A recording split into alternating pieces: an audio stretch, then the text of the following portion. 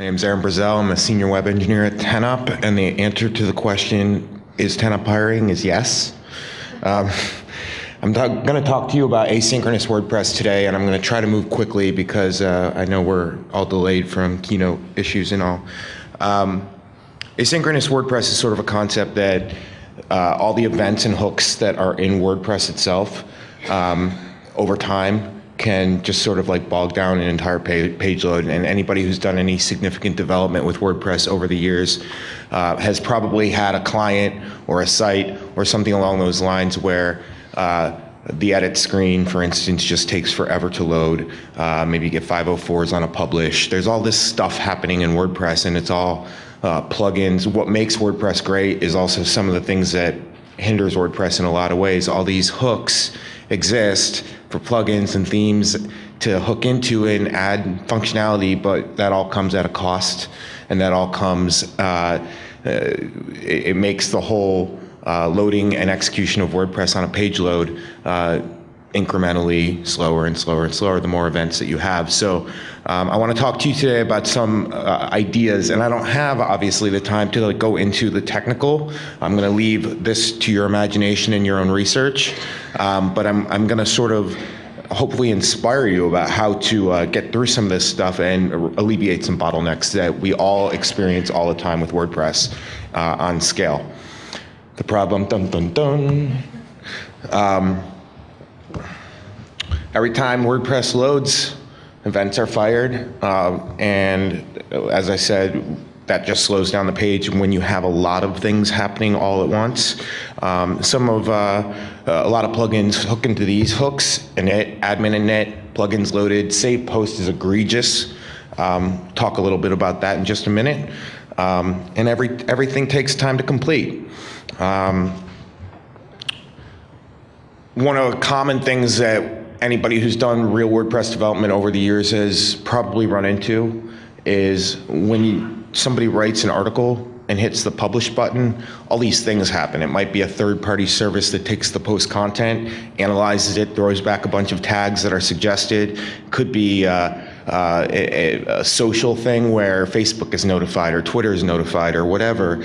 Um, it could be uh, you have a, a, you create a user on the back end and there's some sort of plug in there that goes out into the ether and pulls out uh, information about that person and pre-populates their uh, their profile in WordPress. All this stuff takes time. Uh, so asynchronous events are not the heroes we want. They are, in fact, the heroes we need, and that's somebody who's clearly mangled that quote. Um, I want my slide advance. Oh, there we go. And we've got to have the picture.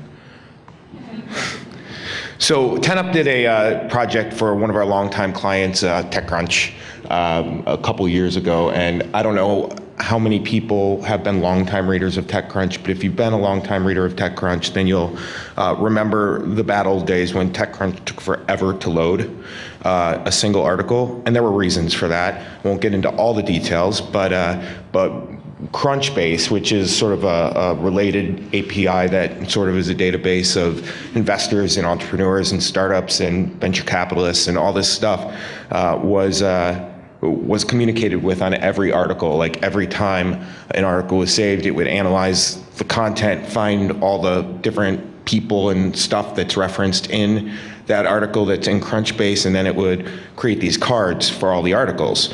Uh, that took a long time. I don't really know uh, why this Crunchbase API couldn't have been optimized.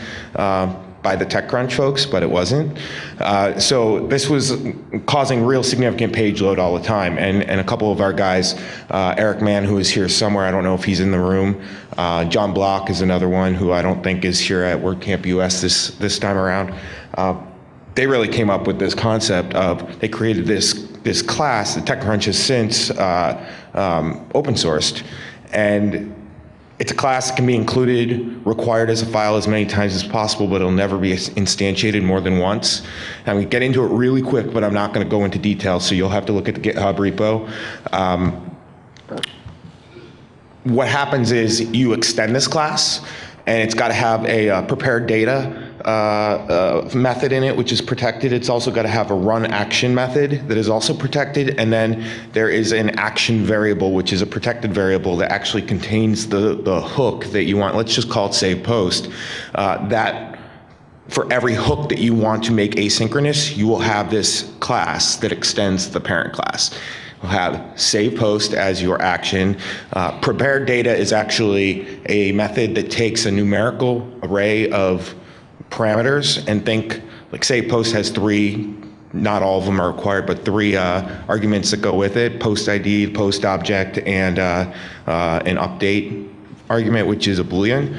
Uh, so you're going to get these this raw data into this method. You never call it directly, but you're going to get this thing into your method where then you like do some sanitization, whatever, and return out of that method all the actual parameters that would go with save post.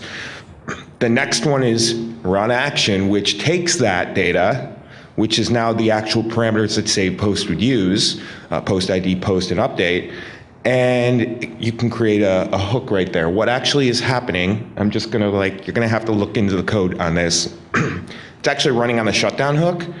And instead of then using save post hook to fire an action, you use WP async save post, which runs on shutdown after everything's been done, so you can do all these expensive transactions after the fact without hindering the page load.